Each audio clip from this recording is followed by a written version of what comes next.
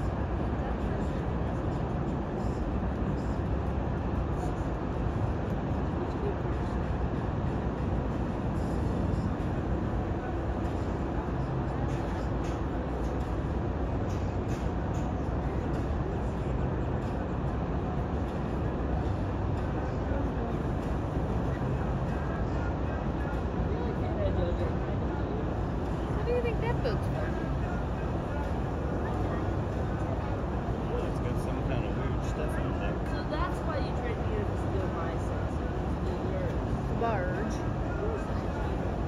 Hannah, I think a long time ago we talked about what a barge is. A big flat thing. That's what a barge is. A barge? Well, we might have to stand up. See that floating big, big flat thing?